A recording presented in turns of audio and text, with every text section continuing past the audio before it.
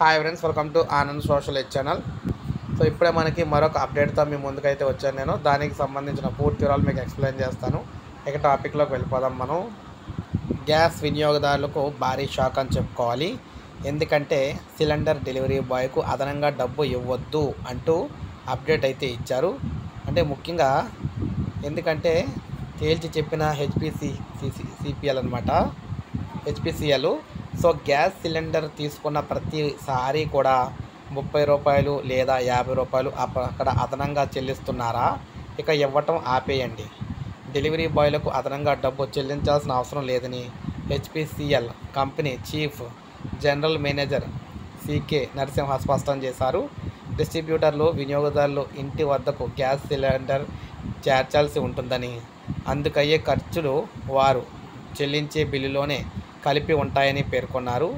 నగరానికి చెందిన రాబిన్ అనే వ్యక్తి సమాచార హక్కు చట్టం ద్వారా ప్రశ్నించగా ఈ మేరకు సమాధానం అయితే ఇచ్చారనమాట ఇది దేశవ్యాప్తంగా సేమ్ ఎక్కడన్నా కూడా బిల్లులు కలిపే ఉంటాయని ఇంటి వరకు చేర్చాలని అలా పంపించిన డెలివరీ బాయ్కి ఒక్క రూపాయి కూడా ఇచ్చి పని అయితే లేదని చెప్పేసి తేల్చి చెప్పారు.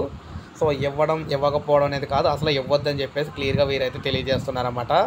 ఇప్పుడే మనకి అప్డేట్ అయితే వచ్చింది. ఒక లైక్ చేయండి సబ్స్క్రైబ్ చేసుకోకపోతే మన ఛానల్ సబ్స్క్రైబ్ చేసుకోండి.